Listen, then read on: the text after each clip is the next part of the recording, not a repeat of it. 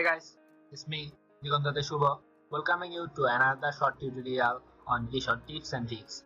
Today I'll show you the basic of interior rendering and IES light and area light system on how I created this type of interior rendering.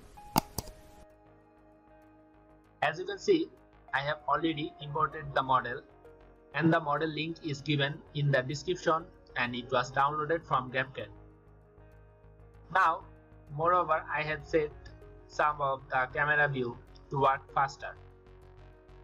See, this view is going to be our this type of view. Now, I will first focus on this part and then I will focus on this TV set. To focus uh, for this light source, I am going to use IES and area light. To do so, let's just go to scene and click on this part and then we'll just center and fit the selection part. Now you see these two parts are separated. So I'm going to use IES light over here and area light on this particular place. Now simply just double click over this part and it will take you to material and from here you can choose IES light or you can go to your material and from here if you scroll down then you will find light and IES light and you can choose whatever you need to choose. Suppose I'm going to choose this one over here. As soon as we do you see the part is gone. Because it is not showing. Go to scene and you see the light is added. Double click on this part and it will take you to the material. And now I know the axis is going to be on G axis. So I'm going to just reset the camera and turn off the performance mode to show the preview. I have used the value something about 33 to 35 and the color on something like this type of white. As soon as I do you'll see this is the IES light. You cannot see the source but you can see the impact of it. Remember guys I have already linked this material with this part. Again this part with this part and everything every light source are related so whenever you are going to change one it is going to change the whole. Now let's move on to our second step. Go to scene and center and selection. And now I'm going to use area light over here. To do so I'm simply going to double click on this part. And from here I am going to use area light. Here as soon as you do you will see lots of option and here you will see the format what you need. I'm going to use lumen here. And the color is going to be like this type. I'm not going to change it. So let's reset the camera and turn off the performance mode. As soon as you do you see now there is a source we can say that this source is just emitting the light over this surface. So this is how you can use it. Now let's focus on our TV set. Let's go to camera 3 and now we are going to use something over here on an area light. Double click on this part and it will take you to material and also going to use area light. Before moving on this let me turn off the light that I was using.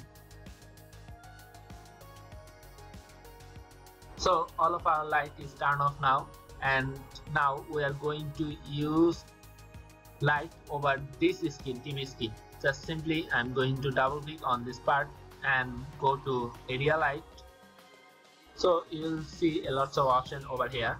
Let's just turn off the performance mode to show you the preview. Now if I just turn off the front view it doesn't affect because the front view is the back side of this part. So it's fine to me. If you turn off the back part then it's going to be dark. So I shouldn't I will just use this. If you turn off the visible to camera then you won't be able to show the part glowing but it will show the impact of this area light. So I am going to check it also and also make sure it's also visible in shadow. Make sure you get your uh, needed samples over here from here. And now I'm going to use it as lumen here and the sample is going to be very big say 10,000 so that I can show big reflection from here. Let's go to camera 2 and now we see because of the TV our room is lighted.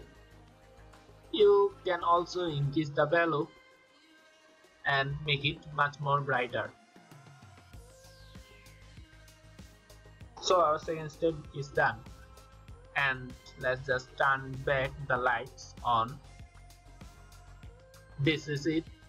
So this is how you can get your interior rendering like this and make sure from your light you choose the interior and the environment brightness to zero.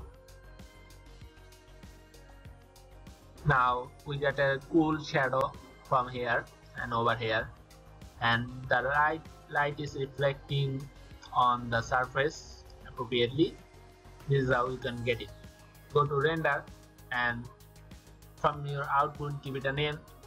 Choose the location choose the format and make sure its dp is 1000 or more than 1000 choose the resolution. And you can choose uh, you can choose those all if you want to edit it in Photoshop uh, choose the region what region you are willing to use.